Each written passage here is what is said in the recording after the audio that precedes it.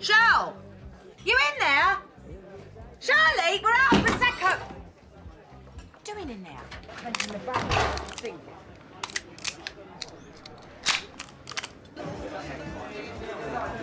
Can you stop for just one second?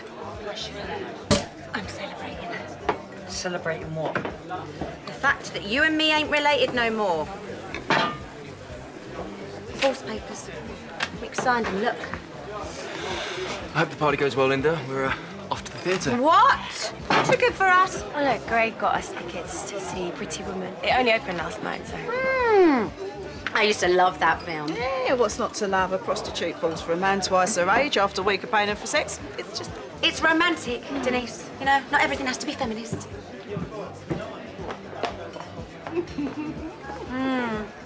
I'm guessing you ain't going to the ballet, Stuart. I think he looks very handsome. Talking of handsome devils, where is my soon-to-be ex-husband?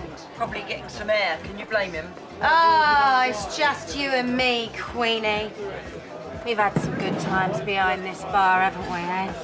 Chin chin, darling. Hmm? You wanna come? Of course you can. Can't miss the party of the year, can you? Hey, eh? been there through thick and thin. You'll always be my woman. Don't be so stupid. She is coming to my party! It's all right, Linda. Of course you carry it on the coach for you, wouldn't you? Yes, I can do that for you, darling. As long as you carry me off the boat. Embarrassing yourself as usual. You're a fine one to talk, Shirl. Have you had a look in the mirror lately? You're nothing but a washed-up old hag who'd be on the streets if it weren't for the son you couldn't even be bothered to bring up. And thank God you didn't. Because look what happened to the three you did.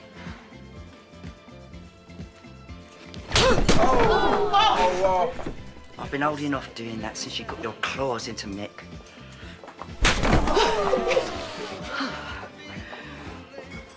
Ditto.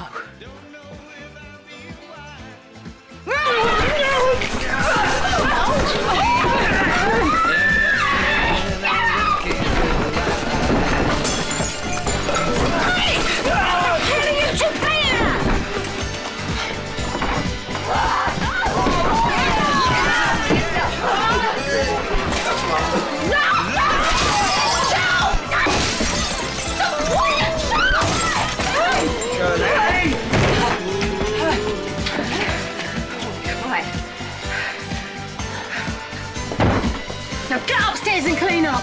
We ain't got long before the coach leaves.